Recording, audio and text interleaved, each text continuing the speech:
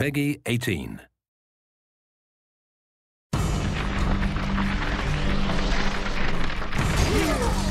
This fight will be your last. Kuai Liang and his brother Bi Han were abducted as children and trained to be ultimate assassins by the Lin Kuei.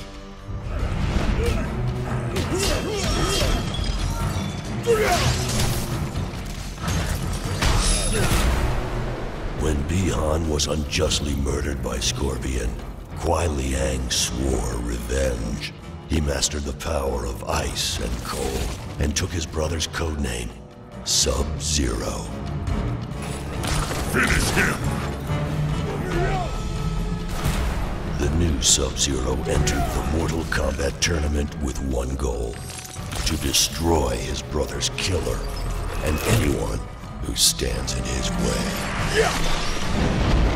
Sub-Zero wins. Fatality.